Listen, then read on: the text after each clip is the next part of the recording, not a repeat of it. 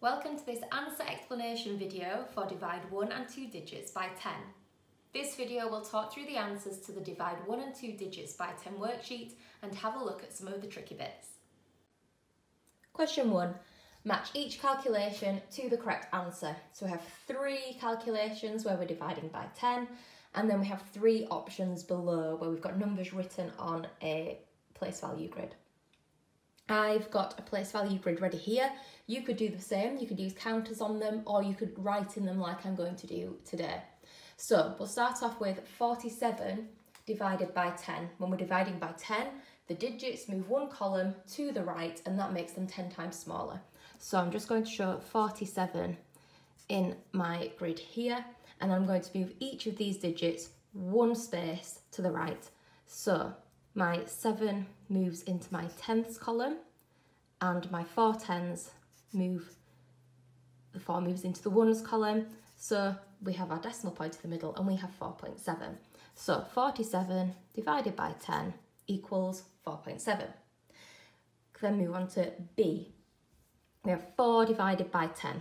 So I have 4 here and I'm going to move it one column to the right, put the 4 in here, make sure my decimal point's there. Because we have something in the tenths column and nothing in our ones column, our 0 becomes a placeholder here.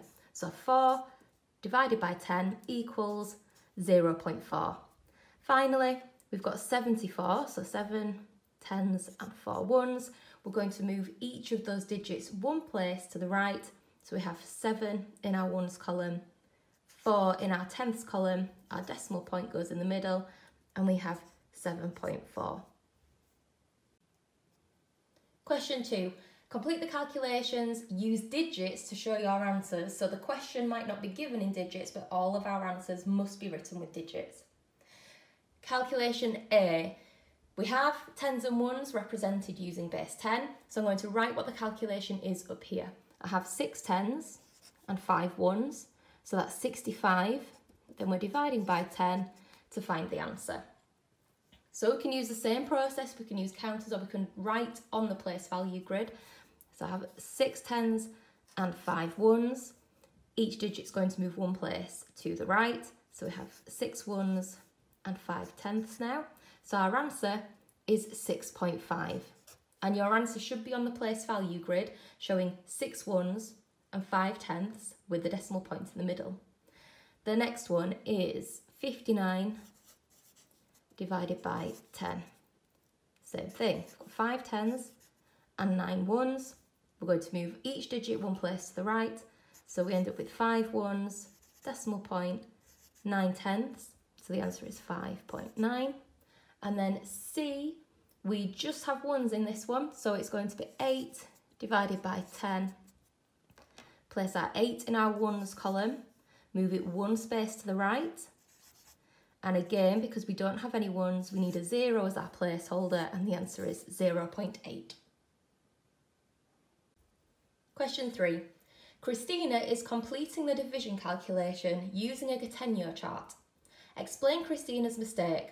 What is the correct answer? So, I've drawn a Gattegno chart here so that we can have a look together and I'm just going to write down the calculation Christina was doing, which was 81 divided by 10. Now Christina says, I have shown my working, but I have made a mistake. And I'm going to place a counter over 10 and a counter over 8 just to replicate what Christina has in the question. So we know that Christina has made a mistake. She's looking at dividing 81 by 10. We can use a Gattegno chart by partitioning our number. So 81 is made of 80 and 1 and we're going to divide each of those by 10 to find our answer. I'm going to leave Christina's counters there for the moment so we can compare how we're going to do it. I'll just get a different counter so we can have a look. So 80 divided by 10, we start with 80 here and to divide by 10 we just move one row down. So 80 divided by 10 is 8. And Christina has placed her counter in the correct place.